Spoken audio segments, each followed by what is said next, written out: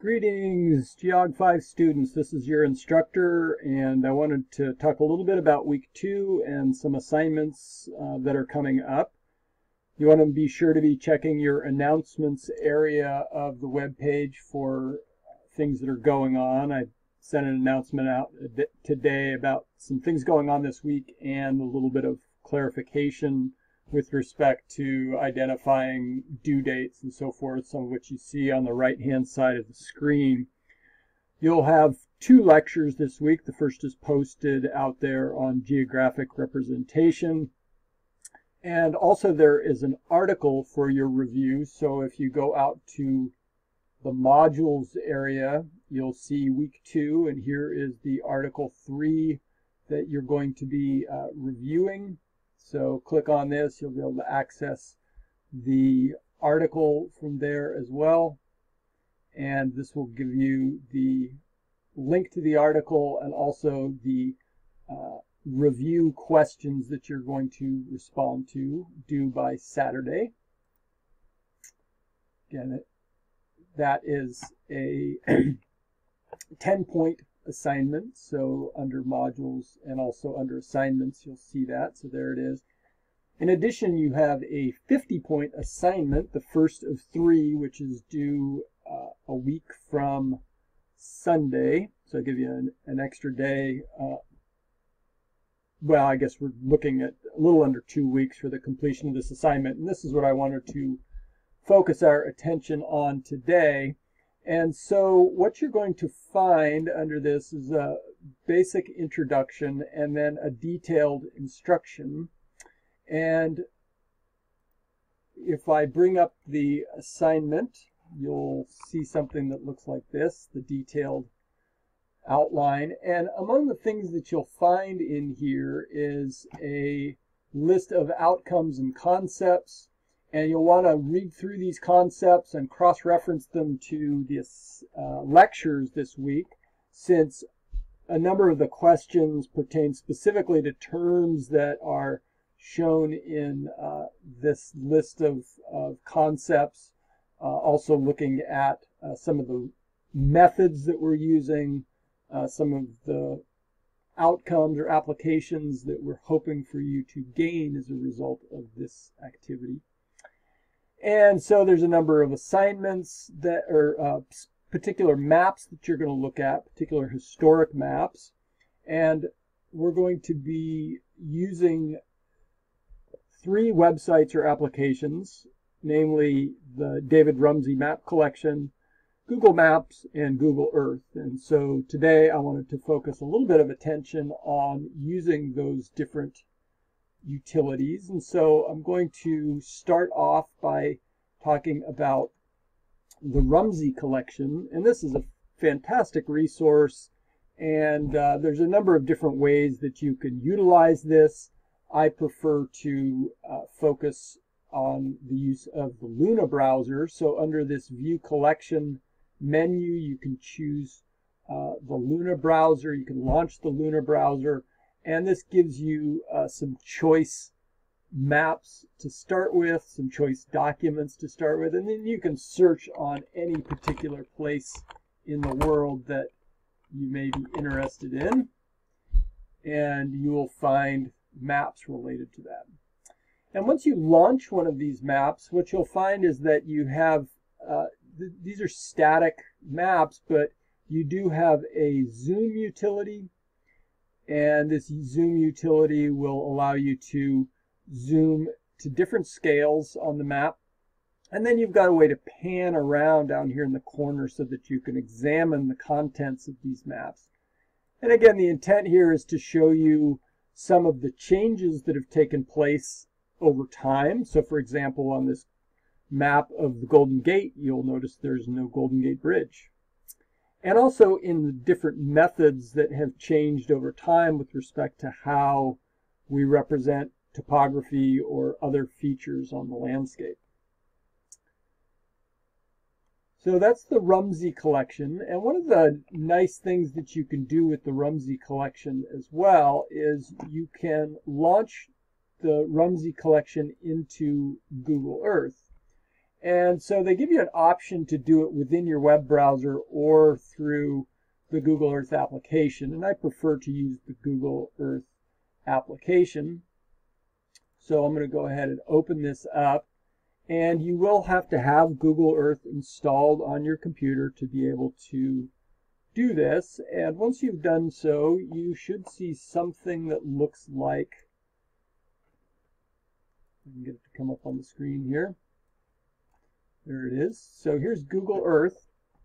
And we now have embedded within Google Earth the Rumsey collection. And let me uh, start off by uh, just giving you a little bit of an orientation to Google Earth for those folks that may be new to Google Earth. What you'll find when you launch this, and again, this is a free application, but it, it does require that it's installed on the computer that you're working on. It's installed in a variety of locations on the campus, and of course, it's free to download for your own installation. And so you'll see that there are areas for places, there's a search window, and there are also layers. And so what you'll find is, see if I can get this thing to refresh. I'm going to back out a little bit. We refresh our view a little bit here. Seem to be getting a little bit of a, uh, I think I'm picking up the, uh, the Rumsey collection here still. Zoom back to my database. So these are the default layers that it includes. And so I frequently will turn off some of these overlying images. It's interesting. Something is acting a little odd here. I think I'm still seeing the panels from the Rumsey collection. I'm just going to go ahead and uh, exit out of Google Earth Let's say discard. Let's go ahead and launch the application again. It didn't appear to be playing nice. Okay, so there's kind of your standard view. I'm going to go ahead and turn off these. There we go. So now we have a little more of a standard view. Defaulting to include roads. So if I zoom in, we'll start to see the roads appear, but I can turn those off. Similarly, places, uh, photos, you know, if you start turning all these things on, you get to a point where things start looking really cluttered. And so I frequently will turn them off, um, although um, you'll at times realize that your view is not giving you what you want if you don't uh, have some of these underlying layers uh, turned on.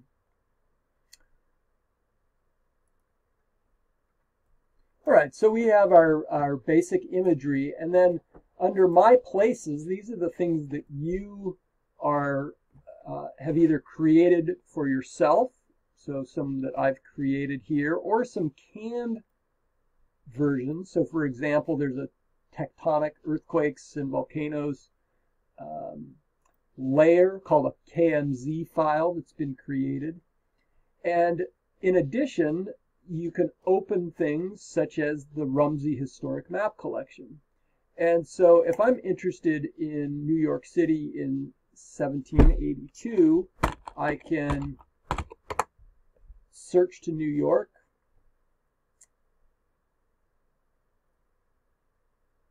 And it will overlay this map on top of contemporary imagery. Now, this is a case where the 3D buildings are cluttering our image. And so,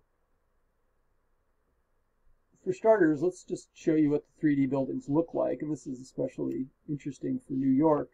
If you zoom in on New York, you'll see that these renderings of the buildings come into effect. And if you press down on the mouse button and you rotate your perspective, so I'm just holding my mouse button down and pulling back.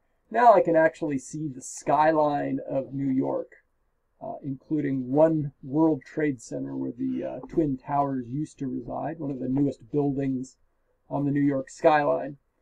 Now if I turn this off and rotate myself back into the bird's eye perspective, and then I turn back on the Rumsey collection,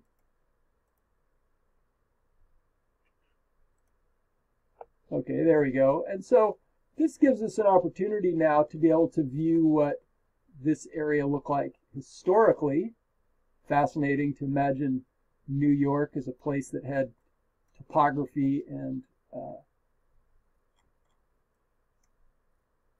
farmlands and other things back in the day.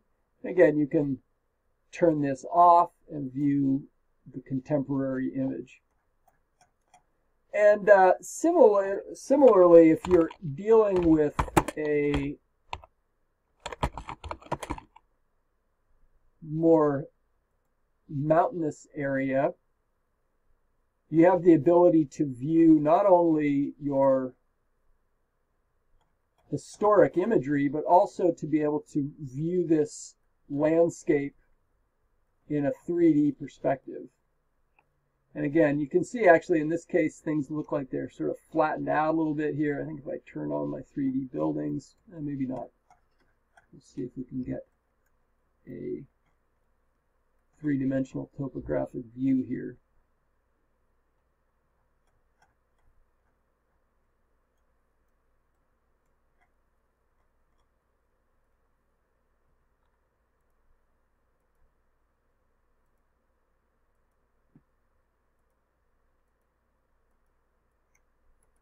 Ah, that's the problem. I turned off my terrain.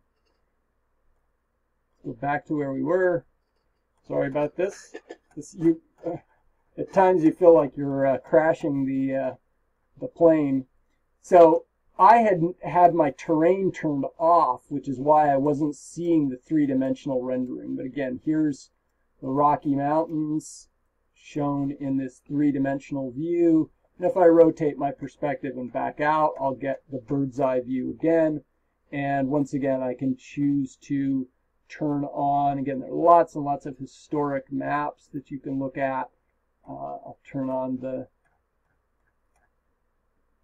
1827 map of the Rocky Mountains overlaid on the existing imagery within Google Earth. One of the things that you'll be doing in this exercise, there's two things you'll utilize. One is the historic time slider of imagery. And so in this case, we can go back to 1988, see what the landscape looked like, and then you can just scroll your way through different imagery. So that's one of the things you'll look at. And another feature that you'll use is what we call street view. And, and get to a place with some streets. And in this case, I'm going to go ahead and turn off that historic map. I think it's still up on my screen. My computer interface seems to be running quite slowly here. I apologize for the slow response time. This is your street view, and I'm thinking that it may end up dropping me into